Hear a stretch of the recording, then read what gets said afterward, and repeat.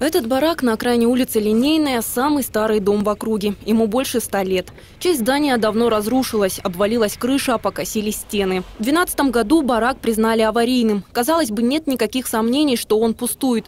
Но, как выяснилось, жильцы здесь есть. После списания дома его обитателей так и не переселили. Кто смог, уехал. А вот Иван и ее маленький сын такой возможности не имели. Сегодня семья вынуждена существовать в ужасных условиях. Потолок нагинается, падает, печка скоро упадет. Ну, жить в доме невозможно. В доме вечно дым, огонь в доме идет, когда ветер дует. Полы ледяные, ребенок, он ходит в сапожках постоянно, разувается только, как говорится, на ночь. Неделю здоровые, потом неделю болеем, полторы болеем.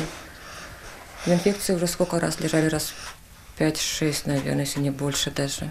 С наступлением холодов печь в бараке топится круглосуточно, но тепло сразу же уходит через щели. Зато угарный дым в доме почти всегда. Проснулись утром, у меня ребенок плачет. Потом он раз упал на подушку вот так вот. У нас, оказывается, на улице ветер тихонечко дует с той стороны, но у нас угар в доме.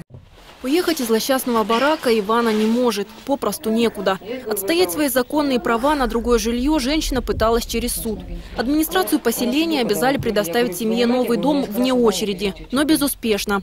Руководство поясняет, сегодня такой возможности нет. Подходящее жилье отсутствует, отстроить новое не на что. Однако надежда на переселение все же есть этот дом должен был должен э, ввестись в реестр переселения из многоквартирного аварийного дома э, в федеральную программу переселения, так как э, источником финансирования из других источников, как администрации поселения, как администрации Усть-Абаканского района, нету.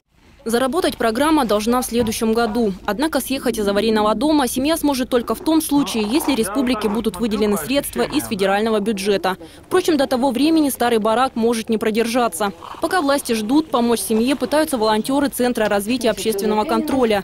Сотрудники СРОК отправили официальное обращение в администрацию Стебаканского района с просьбой принять меры. Кто знает, может на территории Большой Хакасии все же найдется уголок для маленькой семьи. Виктория Титова, Андрей Доржу, РТС.